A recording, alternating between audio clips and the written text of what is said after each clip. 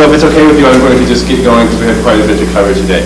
I'm going to walk us through some slides about how the strategic planning process has been going. As you know, it's been going on for several, several months now. Um, this, what I'm going to present is very much a work in progress, um, so we would appreciate your, your feedback and your comments. As I go through the slides, I'm going to, like I said, move through them as rapidly as possible so that you can jot down your questions and then when we get to the end, we'll have plenty of time for questions and, and comments. Um, and like I said, we're really looking for, for feedback on this draft. Um, this is the members of work group number five. Uh, I won't go over them in detail, but we had representation from all the colleges, uh, a mix of faculty, staff, and students. These are the uh, major goals of the uh, strategic plan. You can see they're divided into three areas. Strengthen and focus our core mission, advance a community of engaged citizens. That's where group goal number five and six are in the plan. And then uh, the third major goal, uh, or the third major unit of the goal is engage in smart growth, excellence, and accountability. We're going to be talking about five and six today. For a group, I'm going to talk about goal number five first, the positive environment for faculty and staff. We came up with three main action items that we would like to work on over the next six years to strengthen and support our talent, mutual accountability and ethics, recruit and retain national and international talent at both the faculty and staff levels. Some strengths that UK has now, um, we offer a highly competitive benefits package as we saw it. Um, it's committed, the university is committed to having a full-time faculty comprised of scholars and teachers and not relying on adjunct faculty. Uh, we have an Office of Faculty Advancement um, pro that provides a full range of services and uh, work life is active uh, for faculty and staff in developing professional and personal goals across all stages of careers. Strengths applies challenges. We have challenges as well. You probably know them. Uh, on the last work-life survey, only one-third of the staff were satisfied with their salary. Our work group really focused a lot on the fact that there's a lot of consternation that there are not clear career pathing, especially for staff in the same, for staff in the same way there is for faculty. Uh, faculty salaries have remained rather stagnant, um, and salary is one of the main reasons that people consider leaving UK. We felt, to skip to the bottom one, that the campus is lacking a, a clear programmatic mechanism for identifying and training future leaders in staff and faculty. Challenges provide opportunities. Uh, we feel that we have a lot of space to develop innovative policies to help acclimate and train department chairs and supervisors to advance the goals of the strategic plan and to set salary targets for staff and faculty that are benchmarked against salaries for the best institutions and to aim to be above the benchmark. These are, so the way the plan is divided, um, underneath the goal of fostering a positive environment for faculty and staff, um, the first action item is to strengthen and support our talent. We start with increased compensation.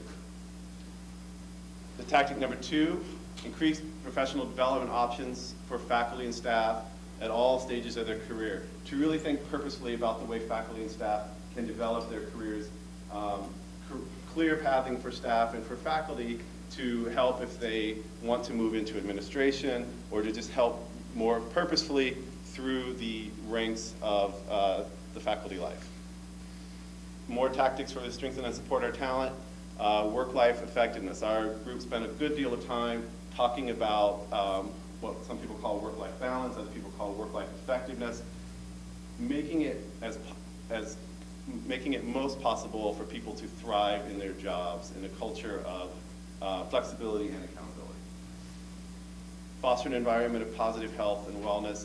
Uh, we live in Kentucky, a state with a great deal of health problems, and it's incumbent upon the university to be a leader in having a positive health and wellness situation. Um, to support employees' intrinsic motivations, as well as their desire for appropriate reward and recognition. Um, one of the things that came out clearly is that we can do a better job of helping people feel valued uh, by making it clear the specific ways that they are valued. We came up with some draft metrics for how we will measure the outcomes of where we are. I'm going quickly as well because all of this is on the web, and I hope you've had a chance to, to look at it or will have a chance um, after our town hall, and you can always look at it and then send in feedback as well online. Our second action was to ensure a culture of mutual accountability. One of the things we talked about a lot was clear performance review criteria and expectations that are transparent and knowable. To enhance a system of tracking faculty productivity and rewards so that we have a better sense of where our faculty and our staff are excelling so that they, so that they can be properly rewarded for that to use, this is for faculty, tactic two, type two, three, to use the title series, the different title series that faculty can fall into more effectively um, to advance the goals of the colleges, whether it be regular title, special title, or clinical title. To train leaders on best practices for, to promote accountability. Um, one of the areas where we talked about a, talked about a good deal was making sure that both supervisors and department chairs um, had a thorough understanding of um, the actions that they are supposed to take in any given situation that comes up. Evaluate the process for overseeing faculty and staff to ensure consistency and fairness, especially as relating to ethical behavior, accountability, productivity, and to provide avenues for disclosure of results of university activities. To, one of the things we really felt we, was important was a culture of transparency, that there is greater, more moments such as this where there's give and take feedback. Um, action metrics for goal number two, uh, they largely have to do with, with tracking our participation in um, career development um, and con contribution to research and grant funding, um, and making sure that job standards are assigned uh, in accountable and transparent ways. The final action item for uh, goal number five, the promote a culture uh, of positive, promote a positive environment for faculty and staff, is to recruit and retain top national and international talent. Not unrelated, of course, to the first goal of supporting our talent. Engage in best practices to attract and retain diverse pools of talented faculty, to really make sure that we are following best practices to recruit uh, a diverse, a, a, diverse and talented pool um, of candidates for jobs. Encourage creative partnerships and collaborations around shared teaching, research goals, and mission. To increase the number of named professorships, faculty and staff memberships in societies and academies, and, and to increase the faculty and staff who receive such awards. And to, uh, tactic three, four, to increase the recruitment of professional staff on the national level, to really make sure that we are recruiting nationally as well as locally for, for positions to try to make sure we get a diverse and talented pool. Those are our metrics for, our proposed metrics for number three. Like I said, this is all in draft form and can be changed.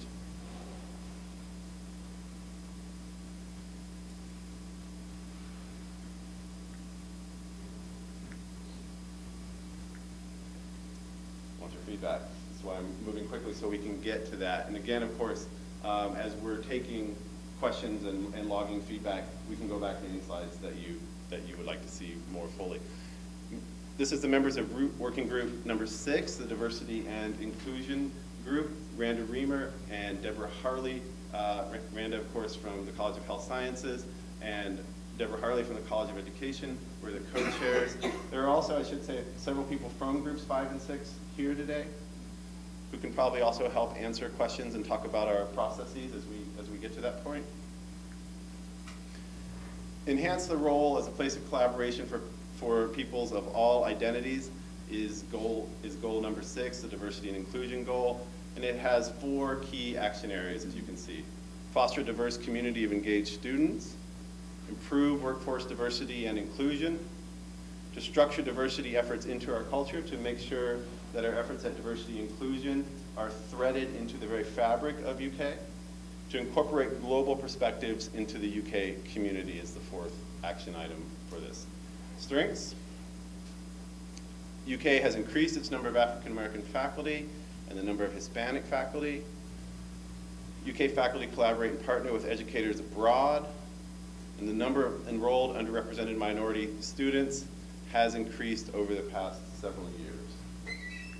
Challenges, The overall level of diversity within the ranks of faculty and staff remains too low, as do diversity levels among the senior ranks and the university leadership compared to national statistics.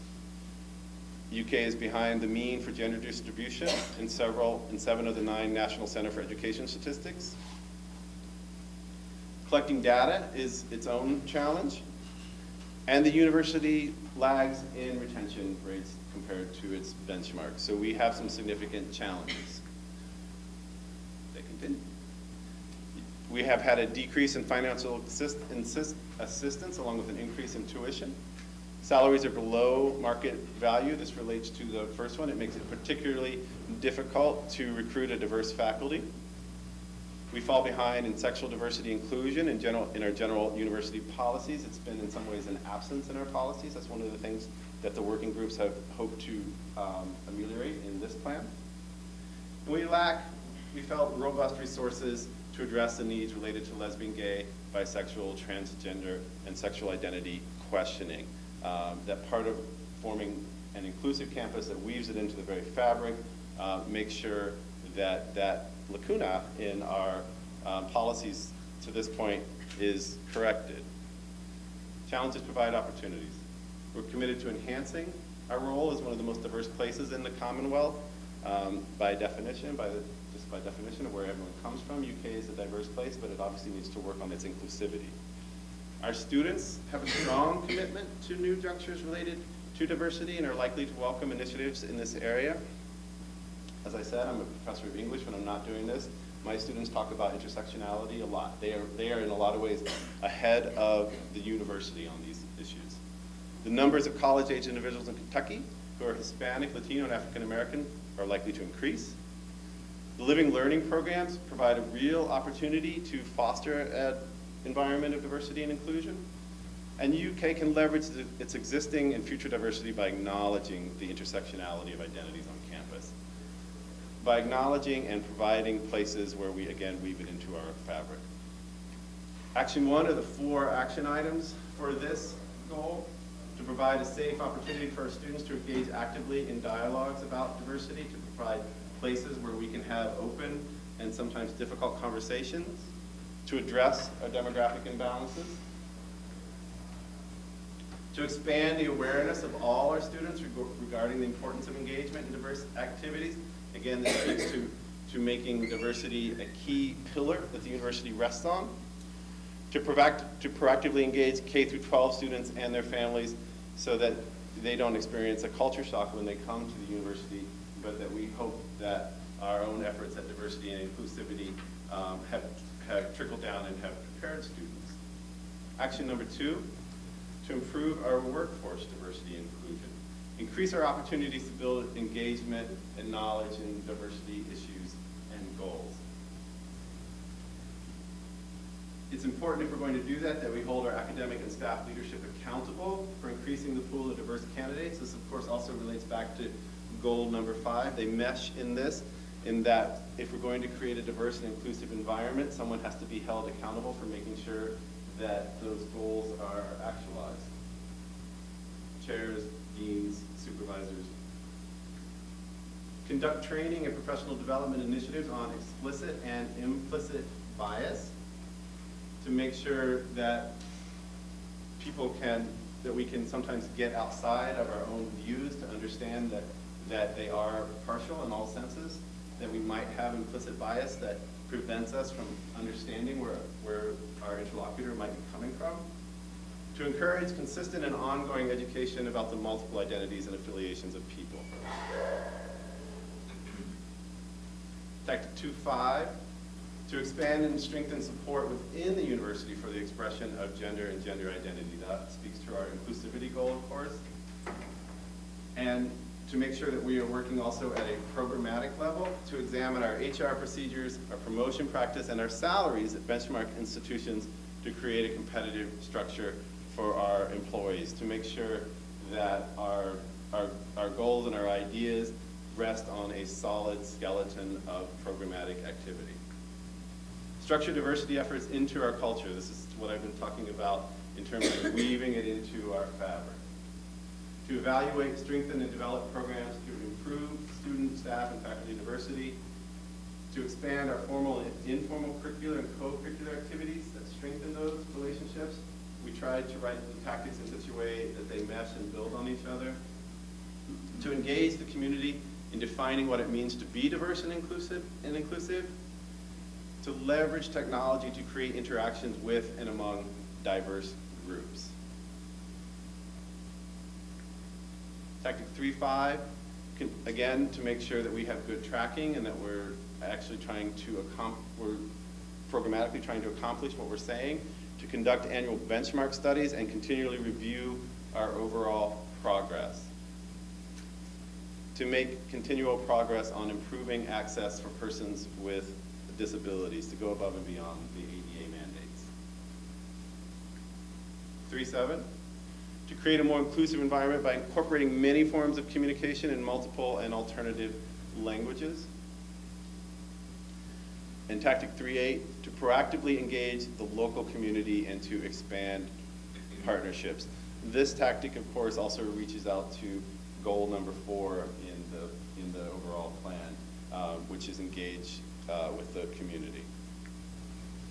Action four, to incorporate global perspectives into the UK community. To expand opportunities for improved communication with key UK partners, to maintain focus on international students' concerns, um, as I know again from my own uh, teaching, our students are extremely interested in internationalization. They really want to look outside of Kentucky and then be able to come back. To provide professional development opportunities for faculty and staff to promote meaningful global interactions against all programs of study. To provide formal and informal structures for the academic support of international students while monitoring academic performance. Um, to make sure that we essentially have the right materials and structure to help our international students to thrive.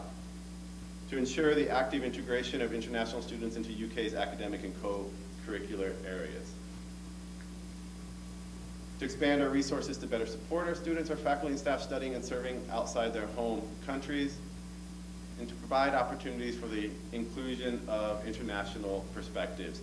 An example of this is something that the UK College of Arts and Sciences does every year. It has a, a year of, uh, this year it's Year of Mexico, next year it's Year of the Middle East, where it works to have uh, speakers and programs that, that address a particular area. We would like to expand that type of activity.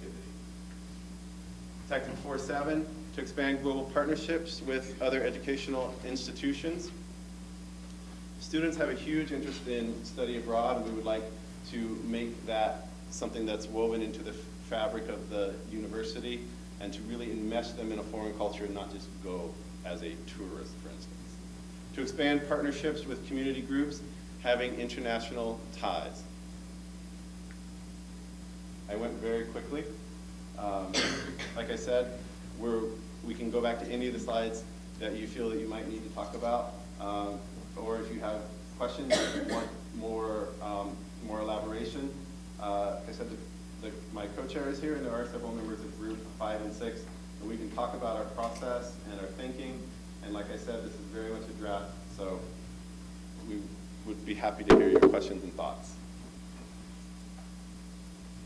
Did you get benchmarks for number six, for goal six? I know you get benchmarks for five. Are you talking about metrics Yeah. specifically? Um, those, yes, there are metrics for those areas, and they are um, in progress.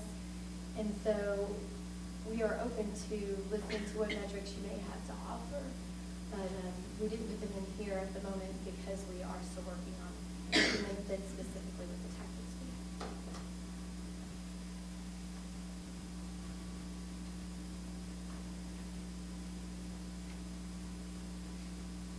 I have two unrelated questions. Um, The first is thinking about our student employees.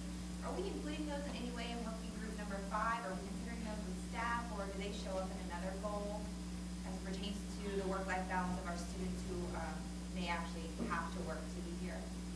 That's a really good point. And we had several students on the working group, um, but I think that that is something that we could give a little more purposeful attention to. Even though we had the, those, those students on our, on our working group, it didn't really come out as a specific action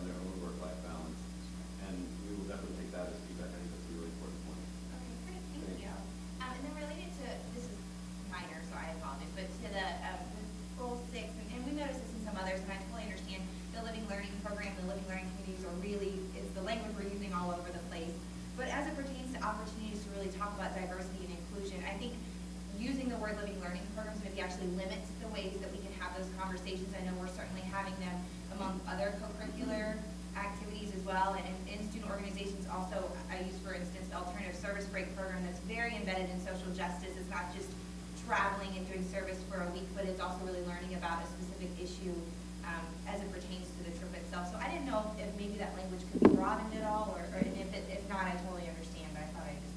It was mentioned specifically under um, one of our opportunities because of the expansion that's going on on Okay. campus right now. Sure. We didn't mention some of the other pieces that you're talking about because we're trying to be more broad when it comes to the tactics to make sure that we are addressing things that can fall under a greater umbrella. Sure. Um, so certainly the, the things that you're discussing absolutely would fall under some of those tactical, tactical areas and would be areas we would need to address within the metrics to look at as supporting the tactics that we're attempting to address.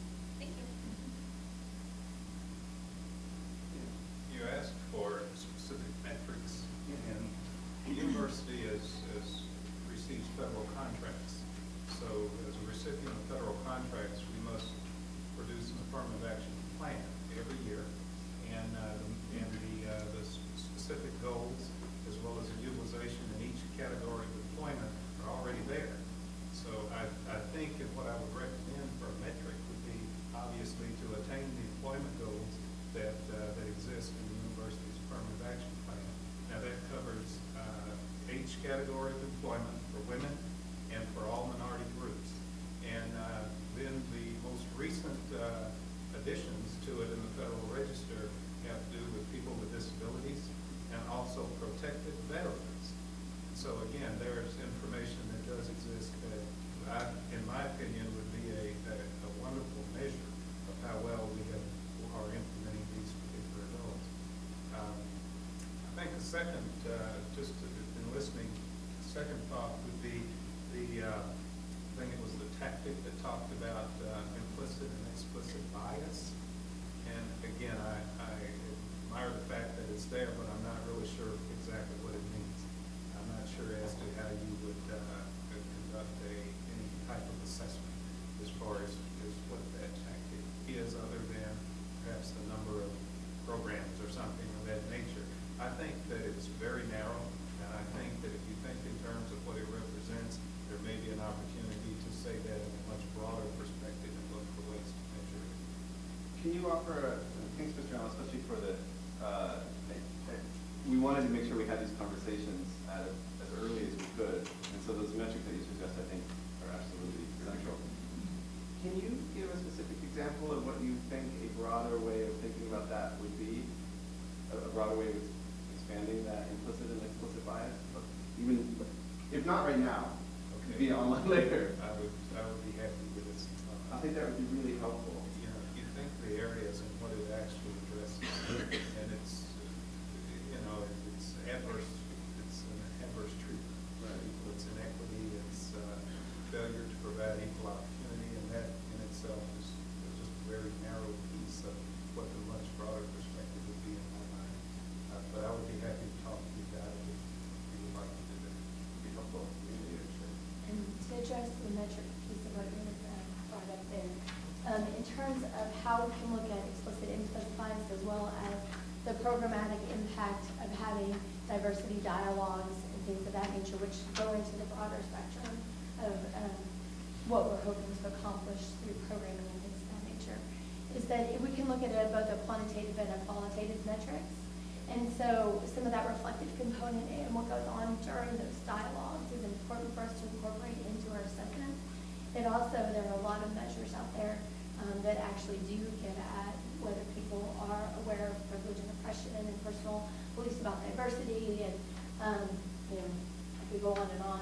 So we can, one of the things that the overall group is looking at is what other measures can be incorporated into the po- uh, positive, you know, inclusion of diversity within our environment and how we can go about measuring that in ways that we are not even thinking about currently at this institution. So I think that's an important piece that you're bringing up for us to discuss more fully and to think about the fact that we do need to address that as more than just sort of a checkoff list about programs, because programs and number of people attending does not go far enough to, towards addressing our inclusion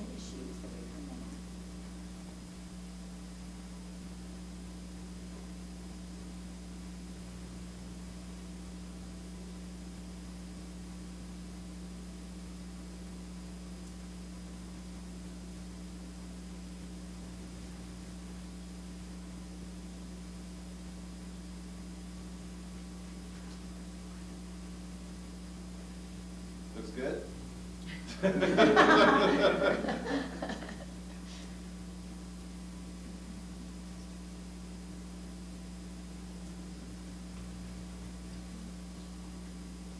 there things that when you look at this, you are jumping out of you and saying you've missed an opportunity to address the summer camp?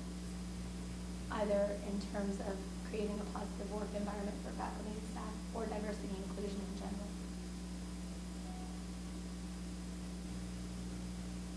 Yeah. I guess I'd like to know, like, where you see the rewards and recognition programs going, because I know it's really difficult, um, you can't reward people financially, and so where do you see that? I'm trying to stir Randy's voice a little bit. Um, So when we were, it's a really important question, When we were trying to think about that. um, Obviously, the, the first thing that we have on there is increased salaries across the board for faculty, that we know that we are below our benchmarks. And that the way to recruit and retain high-quality faculty and staff is to increase our compensation, that's a huge pillar of that. But as we were also working on our um, plan, we talked with um, HR people from especially SUNY Buffalo and the University of Michigan and the University of North Carolina. And we especially learned, Randy and I learned a great deal from uh, the representative from SUNY Buffalo. They have, some of which we're going to try to emulate. They have whole programs in which they um, have I guess I would call them, it almost diminishes them too much to call them micro rewards. But lots of ways in which they try to provide um, validation and recognition and rewards at effectively a relatively low cost. And I, I, that cannot exist without um, also an attention to the um, money element. Um, but one of the things that uh, the, the woman who we were talking to um, pointed out again and again to us is that, and I see this every day working with faculty and staff in my department, people need to understand that the work they do both has a solid purpose and its value. It just helps people to, to it, it helps me to feel better when my dean recognizes that I'm doing something right, right? Um, just to use myself as an example. So they have programs like um, recognizing the best, the best department on campus. Um, they have all kinds of smaller uh, rewards like that. And then they back that up with programs in which if a department is having trouble or a unit on campus is having trouble, they will have someone come in and talk with that unit about um, ways to improve, to, uh, and, you know, I'm, I'm talking more about things like, uh, I'm not talking about legal issues, more morale, support, um, feeling like they're a unit and not just a collection of people who happen to be there. Um, do you remember other specific things you said? And they do that um, on not just a, you know, broad um, level, but also they look at each individual and kind of help the individuals analyze what is going on and how they can improve themselves within their own position. And then also the supervisors are part of that process. And so it's important for the supervisors to do a better job of recognizing, as Jeff was pointing out, about valuing the work of individuals within the union. And I think when we look at the places that people want to transition into on campus, those are the places where people feel valued and, and feel like the work that they are doing is making a difference or an impact at the university. So it's important from all those levels, and that's what they were doing well at SUNY. Um, that, and we really liked their um, program. So I think the implementation team is gonna look a lot at SUNY and what they do and how they do it.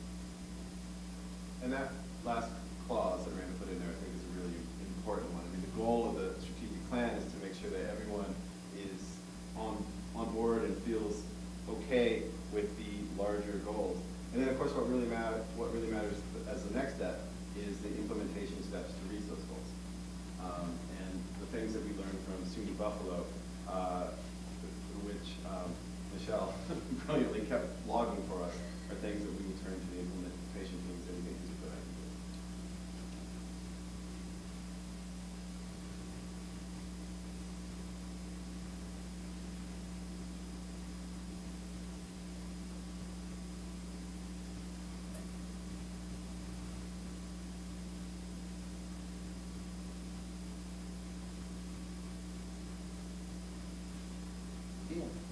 And, and you all kind of addressed this in here um, a little bit, and I, and may- I think it was more indirect, but after um, being on the several search committees within my area, I think you all talk about recruiting um, diverse staff. I think a challenge that I've seen as we are recruiting these outstanding staff and faculty members is while UK may feel as if it is diverse and accepting, the Lexington community, which I love, at some points in time, challenged to fit into that community.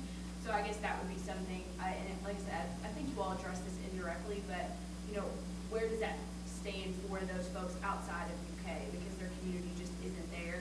What is in the Lexington community and how do we best connect them to that? Because that's a challenge that I've seen. Beyond finding a mentor at UK or somewhere in the community, it's been really challenging for them to connect and find folks. And I say them as far as just the folks that I've worked with and not a specific community in general, but I know that some of the staff um, I've interacted with have found that, that piece challenging. While they appreciate the office in, in UK and what they find here with our students and staff, I think going out into the community within their personal lives and feeling value there has been a challenge for them. So I think how we either communicate what Lexington has to offer or work with Lexington to figure out what does that mean for um, our staff would be important to consider, so. Um, The group working on goal number four specifically is addressing community engagement, and that's specifically how we interact with our community and how the community is interwoven both into UK and how UK is interwoven into the community. So, um, and um, Lisa Higgins Hord, who I'm going to put on the spot as she walks back in the room. um, You just had a- a question about community engagement. You walked out and in at the most opportune time. Um, we- We're talking about the interweaving of our faculty and staff into the community and how they don't always, individuals who are hired here don't always feel like they have a place in the community to feel connected to, and also that the community doesn't necessarily feel like they're connected to the university. And how are we going to address that so that faculty and staff that we hire um, feel like they have a place um, that they can belong to on a personal level? So is there a question to me? It's just more of a If you're willing to, enter- if you're willing to entertain it, it kind of was. Yeah, I mean, it was, it was, I mean, it was more statement that I think it's something that I know I never had considered as much as I, you know, have a lot of privilege in the fact of uh, being a member of the community here as a student prior and things like that. So I think just not knowing how difficult it might be for folks to connect, I, I feel like I have a lack of resources as a supervisor, as a staff member, and HR. I think they do great stuff, but I don't know if that's necessarily their responsibility. Uh, You know, I think, how do we as a university help foster that for our staff and faculty? And is that something in the community that we may be lacking or just unaware of? So it's more a comment, not really, you know, so. I think the community is craving that interaction as well. Mhm. Um, And it also helps us keep attention on both the students aspect as well as the faculty and staff. And I was just in a meeting yesterday with Belmont and we talked about this because there are students who are craving the opportunities to try to figure out what things they love and how they can actually embed themselves into our own communities. And I think the same thing with our faculty and staff. You know, sort of figure out what they, what they like and how to um, embed those kinds of things into the types of culture that we already have in this institution and also in our community and in our state. So there are ways to do those connections, but we don't have anything formalized at this point. And I think we need to begin looking at that. You know, also addressing that in terms of our hiring practices is having those better partnerships with the community where we're reaching out into the community for individuals that we know would be assets to the university. And, and by building that kind of partnership where we're constantly helping support one another through our hiring practices and other means will also help that because then the individuals who are hired here will already, already either feel part of the community or will have a place to connect them to. I think key relationships with the people in our community, both grassroots and stakeholders, is very important Mhm. for us as we advance as an institution.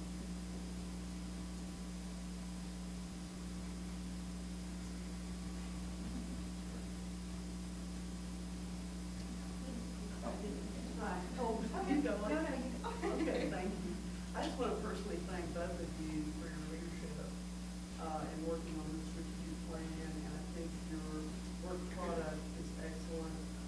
Uh, We've got a long way to go to get to the final draft, I know, but you're, you're close, and uh, I, I think it's wonderful to see you have a feedback session. Also, that was done in comments, it's very instrumental. Well, thank you, and please also, I mean, the, the French have that great phrase, right? Uh, My French is terrible, so I will just say "wit of the staircase." Um, that you always think of the perfect thing to say when you when you've left the room. So when the uh, when you think of questions or comments or issues that you really think that we need to address, or that something triggers in your brain after you leave, go to the UK Strategic Plan website. You can get there very easily just by googling University Strategic Plan and click on the goals and all of the goals, all your goals, but for us in particular, five and six, and um, use the, the, the feedback window. Um, that feedback gets back to us very quickly. Um, for which we should, for which we have to thank uh, Michelle and the other project managers who turn it around and send it back to us, like I said, very quickly. It's really helpful. And we'll also be emailing you a link so that you can read the report. Um, Just make sure your email address is on there, and we'll be happy to send it to you. And I apologize because you were teaching us in such a great dynamic way that I may have missed it. Um, but when it comes to compensation and increasing compensation, and I, and I actually saw some numbers yesterday that were very similar about how we're ten percent below. But we know that on a grander scale, there's also pay equity issues beyond the fact that everybody's not being paid well enough. We still have our own issues already. Do you think that pay equity will or could be addressed as you speak about compensation and actually really for both um, group five and group six? Because I think there's a lot of crossover with that. Do you think that's uh, potential there? And again, I'm sorry if I missed it because you already had it embedded in there. Certainly, when we're looking at benchmarking salaries, we'll be looking at pay equity issues and bringing everybody up to where they should be across the board, leveling the playing field. Um, not continuing to have this imbalance that currently exists. By benchmarking and bringing us into that realm, we by no means mean, oh, let's benchmark and keep the inequity that currently exists. I mean, that would be doing more harm than good. Right. Great, thank you.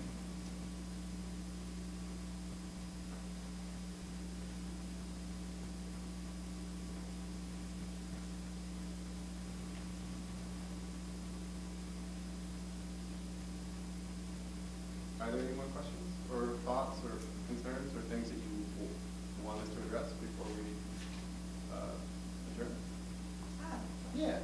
Um, your document for working group five, um, can be accessed where for general staff? I mean, I know I can access it because I'm on strategic plan committee, but where can the document be accessed? A complete document, or is it too, is it Strategic planning website, the current working document is on there under each individual goal.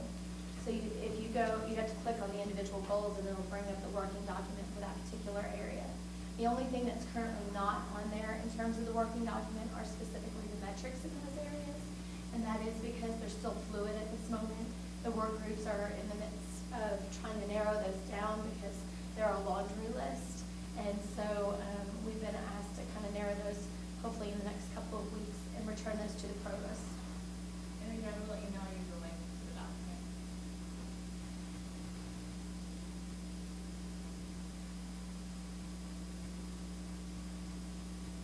We really do value your impa- uh, your that you have and, and feedback that you can provide.